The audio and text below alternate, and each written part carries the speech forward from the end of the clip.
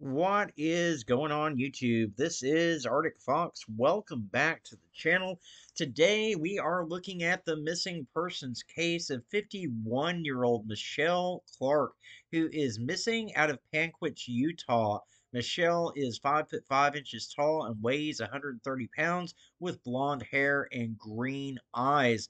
The Garfield County Sheriff's Office is asking for the public's help in locating the missing woman who left her home during the early hours of Friday, November the 4th of 2022.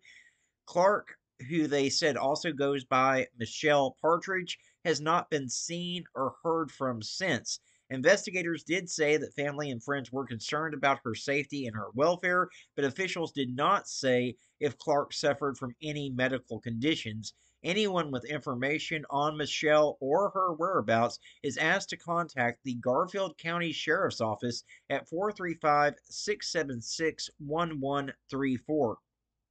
Guys, this lady has been missing for 10 days at this point.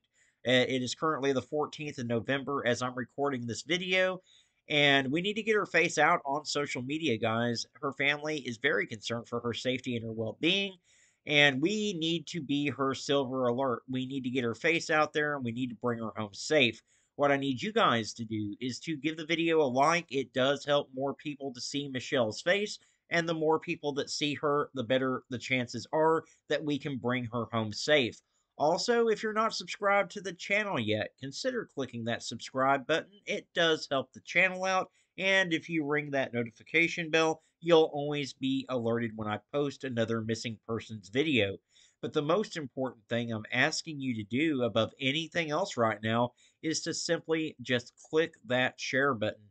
Share this to your Facebook, your Twitter, your Instagram, wherever you have social media, guys. It only takes one second of your time to do, and it can make all the difference in the world in whether we're able to bring Michelle home safe or not.